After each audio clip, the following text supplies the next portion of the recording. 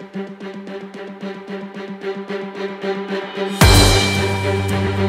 Patay ang isang lalaki matapos manlaban umano sa mga pulis sa bayan ng Nabua, Camarines Sur. Ayon kay Police Corporal Ronald Peregrino, alas 6 ng gabi nang isisilbi umano ng mga otoridad ang search warrant sa pagtatago ng illegal na droga, baril at mga bala sa suspect na nakilalang si Noel Niabres Isoltes alias Pochoy ng Barangay Tupas Proper, Nabua, Camarines Sur. Bigla na lang umano itong tumakbo, papasok sa kanyang kwarto kung kaya't mabilis na hinabol ng mga pulis. Kinuha umano ng suspect ang kanyang baril sa drawer at itinutok sa mga pulis. Dahil na rin sa piligrong kinakaharap ng mga pulis, doon na umano pinutukan ang suspect. Nagtamo ito ng mga tama ng bala sa kanyang katawan. Naisugod pa umano ito sa ospital ngunit hindi na umabot pa ng buhay. Samantala, na-recover naman ng mga otoridad ang isang maliit na puting kahon na may laman na 20 pakete ng pinaghihinala ang shabu at ang baril, bala na ginamit umano ng suspect. Ayon pa si report, ang suspect ay kabilang sa listahan ng mga drug personalities sa nasabing bayan. Mula dito sa bayan ng Nabua, Camarines Sur, Tere Eraula, BSTV News, Philippines.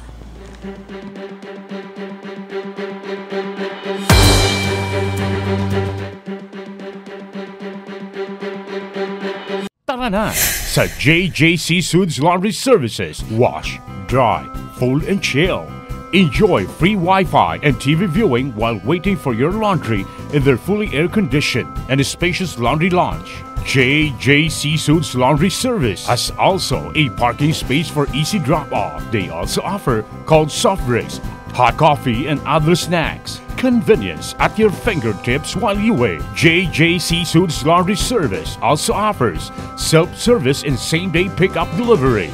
Highly recommended talaga for superb customer service. Located at Unit 1-E, Red Corner Residences, Don Street, Corner Dayangdang, Naga City, with contact number 0906 239 1957 or 099 9899 7714. Yung extra service na ino-offer po namin ay comforters, ironing of clothes, hand wash, dry cleaning of shoes, and dry cleaning of clothes. JJC Suits Laundry Services. Convenience at its best.